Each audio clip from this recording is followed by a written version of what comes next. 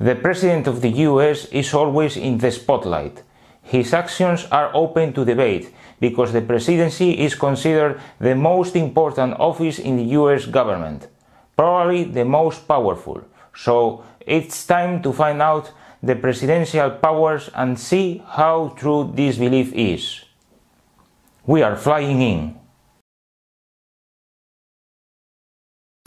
Hello and welcome to Backstage Politics. My name is Esteban Vidal and the purpose of this channel is to help you understand politics and international relations. Here you will be told what nobody else tells you about politics.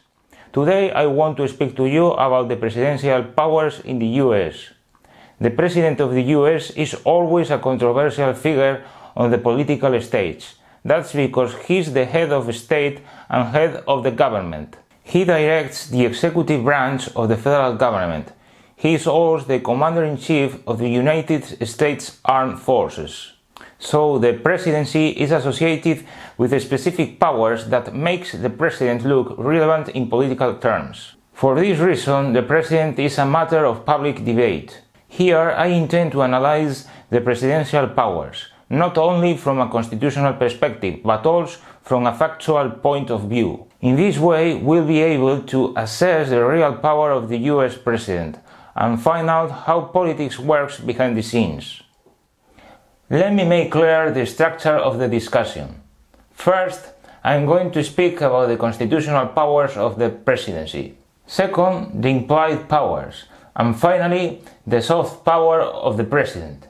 After that, I'll address the constraints of the president inside the executive branch. Let's get started.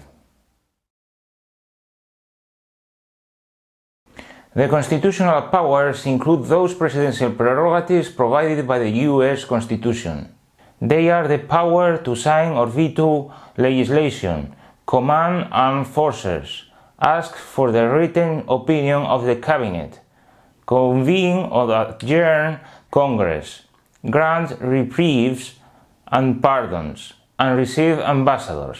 Furthermore, and in conformity with his duties, the President has the authority to appoint and remove executive officers, justices of the Supreme Court, and some officer with the advice and consent of the Senate. In the realm of foreign policy, the President can make treaties that need the ratification of the Senate and controls the communication of foreign policy and directs the nation's diplomatic corps. In the military field, the US Constitution explicitly designates the President as Commander in Chief of the Army and Navy of the United States and of the militia of the several states when called into the actual service of the United States. In the same vein as British military traditions, the President is formally the ultimate authority of the armed forces. Until 1947, the President was the only command superior of the Army and the Navy and Marine Corps. Yet, after the approval of the National Security Act of 1947 and the 1949 amendments of the same act, the military, Army, Navy, Marine Corps, and Air Force became under the authority, direction, and control of the Secretary of Defense. So, the present day operational command of the armed forces is delegated to the Department of Defense. Within the executive branch itself, the President enjoys broad powers to manage national affairs and the priorities of the government. He can issue rules, regulations, and instructions known as executive orders that have the binding force of law on federal agencies but don't require the approval of the Congress. Nevertheless, executive orders are subject to judicial review and interpretation. Although the President can veto any bill, Congress can override his decision with a two thirds vote in both houses. Generally, the presidential veto is pressure for Congress to modify a bill, so the president would be willing to sign it. However, the president usually resorts to other members to influence legislation, such as the control of his party. Indeed, much of the legislation dealt by with Congress is drafted at the initiative of the executive branch, and the president also may personally put forward legislation in annual and special messages to Congress, including the annual State of the Union address and joint sessions of Congress. Regarding the appointment of federal officials, this task ranges from top officials at US government agencies to the White House staff and members of the United States Diplomatic Corps. The President appoints many of these positions with the advice and consent of the Senate. That is the case within the judicial branch. The President not only appoints justices of the Supreme Court, but also federal judges, such as members of the US Courts of Appeals. Another critical aspect of the presidency is the emergency powers. The Constitution doesn't grant the President additional powers in times of national emergency. Yet, in American history, there have been several exceptional situations that permitted him extraordinary powers. However, that has been very controversial, and Congress is the only institution that has the authority to grant such powers to the President. As part of the presidential powers is the executive privilege, it gives the President the ability to withhold information from the public, Congress, and the courts in national security and diplomatic affairs. Nevertheless, this privilege is not absolute, as the Supreme Court ruled in United States against Nixon. So far, we've seen the most important constitutional powers, and now it's time to move on and take a look at the implied powers of the presidency. Implied powers historically have been the cause of bitter quarrels in American politics. That's because powers authorized by the Constitution that, while not stated, seem implied by powers that are expressly stated. So the difficulty here is to define what these powers encompass. In this, this issue is really fascinating because it tells a lot about the political evolution of the US and explains one of the leading causes of the secession war. But let's focus on its implications in constitutional terms.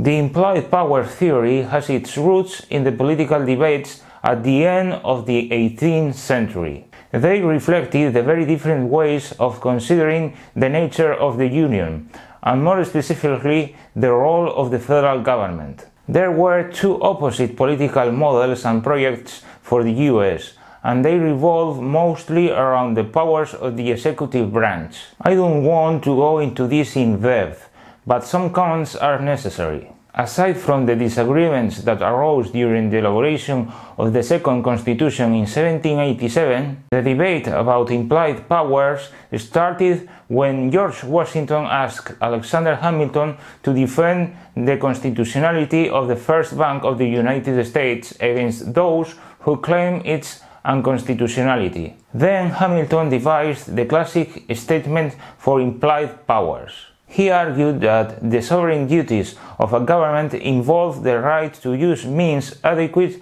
to its ends. Although the United States government was sovereign only as to certain objects, it was impossible to define all the means it should use because it was impossible to anticipate all future contingencies.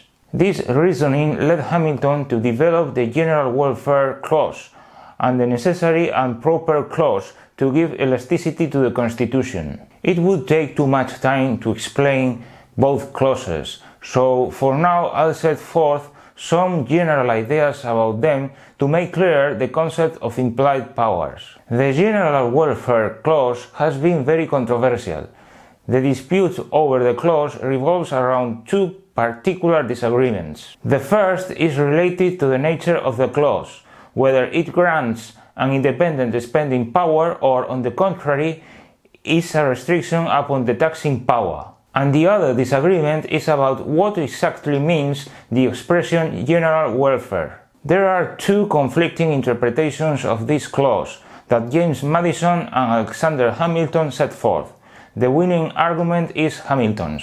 He argued for a broad interpretation that considered spending as an enumerated power that Congress could exercise independently to benefit the general welfare. That's because the expenditure is general and doesn't favor any specific section of the country over any other. Regarding the necessary and proper clause, also known as the elastic clause, it's present in Article 1, Section 8 of the Constitution. It says, The Congress shall have power to make all laws which shall be necessary and proper for carrying into execution the foregoing powers and all other powers vested by this Constitution in the government of the United States or in any department or officer thereof. Consequently, this clause expressly confers incidental powers to the executive branch, which includes the presidency. That means some powers are not explicitly stated in the Constitution,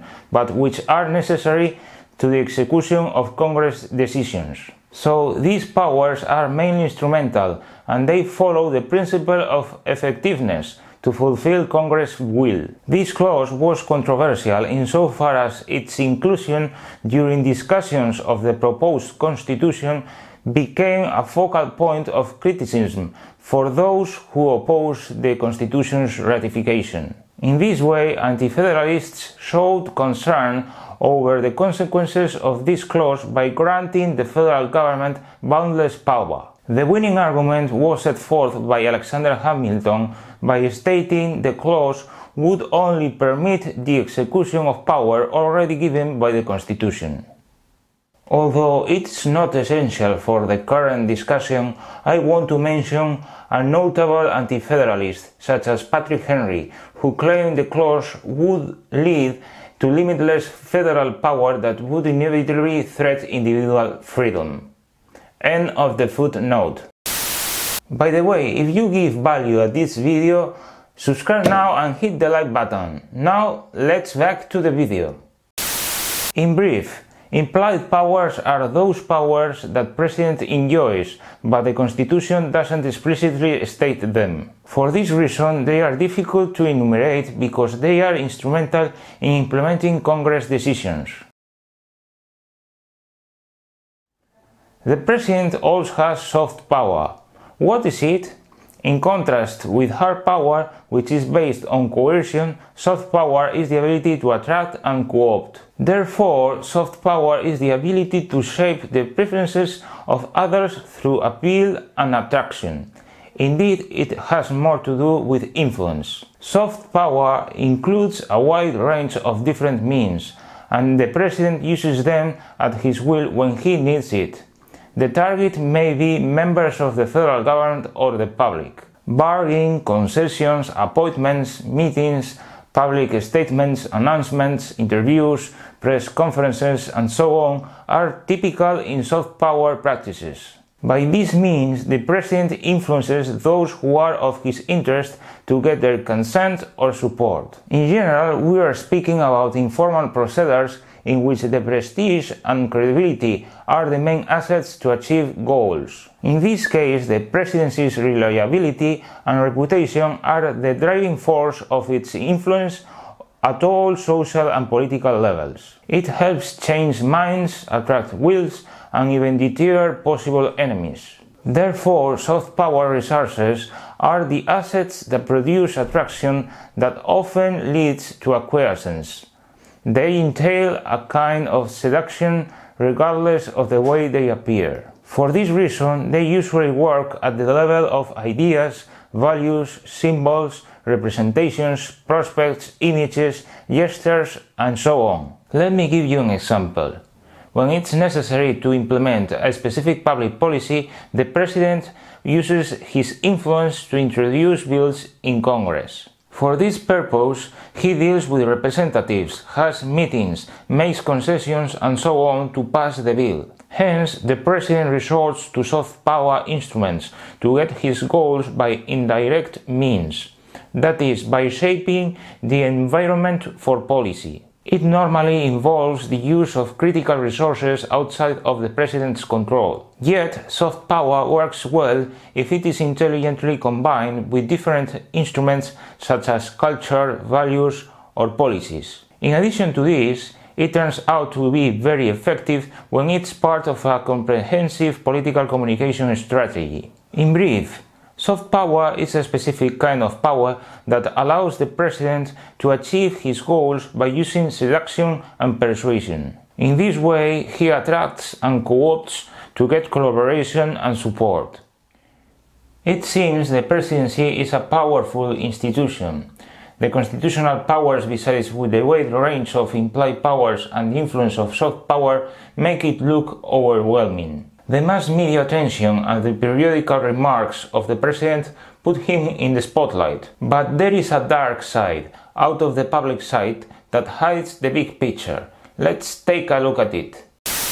The information you are going to receive here isn't available anywhere else, so subscribe now and hit the bell if you don't want to miss anything. The presidency is not an almighty institution. Indeed, it has many different constraints in the legislative and judicial branches. They limit the scope of the president, as I discussed on another occasion. Furthermore, the presidency itself is just a small part of a broader impersonal power structure. That structure has a life of its own because thousands of laws and other rules organize its working and internal dynamics. Because of that, the president is constrained within the executive branch. In fact, he's just another bureaucrat in a complex organization with more than 3 million officials. So, this bureaucratic structure accumulates a vast amount of human and economic resources with a nearly $4 trillion budget. Such social and financial wherewithal makes the executive branch an organizational juggernaut. For this reason, the president can't manage it by himself, and that makes him dependent on what is supposed to be an instrument at his service. I have to stress that the federal administration doesn't work as an army, and it isn't an autocracy either. That means the powers of the president are more theoretical than real. For instance, when a president elect takes office, his transition team must appoint people to more than 6,000 federal positions. Naturally, most of them are unknown to the president, but he has to sign these appointments or give his approval. Indeed, the president spends a considerable amount of time immersed in paperwork. He just follows the rules and his counselor's advice. The situation is even gloomier if we take a look at the overwhelming power of the national security bureaucracy. That is very clear when we look at the changes boosted by the National Security Act of 1947. Since then, the military has been, in theory, under the authority, direction, and control of the Secretary of Defense, but the reality is the opposite, and it controls itself. President Truman didn't hesitate to state in his memoirs that generals and admirals, rather than working for and under the secretaries, succeeded in having the secretaries act for and under them. In addition to this, he regretted how his elected successor, Dwight Eisenhower, would be surprised by the bureaucratic inertia when he realized his lack of authority as president. The president doesn't have the final decision of most issues his administration has to face. He is surrounded by many people, such as counselors, legal advisors, experts, bureaucrats, high rank officials of all departments, directors of federal agencies, generals, diplomats, and so on. People we've never heard their names or seen their faces, who operate out of the public sight. They all take part in important decisions and, in fact, determine the decision making process by selecting the possible alternatives. They pre-cook such choices and guide the president to get his consent.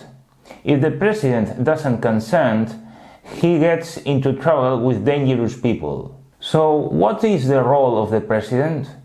It's simple he legitimates the power structure that, in theory, is under his authority. And he does it by signing and consenting those decisions made by bureaucrats. Then he has to sell these decisions to the public by explaining and justifying them. His function is to keep the faith of the people in their institutions. The president plays his role in a play written by somebody else. Presidents can back and forth. They are, as elected officials, temporary occupants of their posts. If something goes wrong, they take on responsibility and are sacrificed for the good of the establishment. They are, all in all, expendable.